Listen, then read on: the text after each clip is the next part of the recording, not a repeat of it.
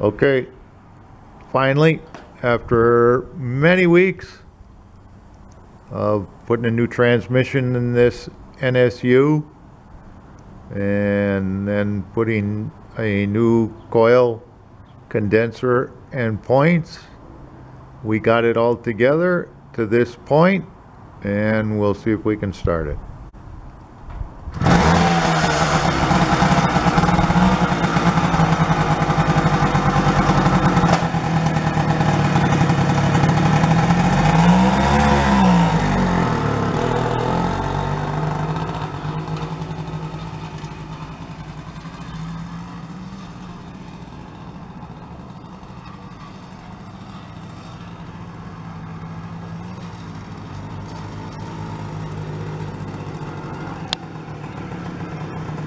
So there you have it.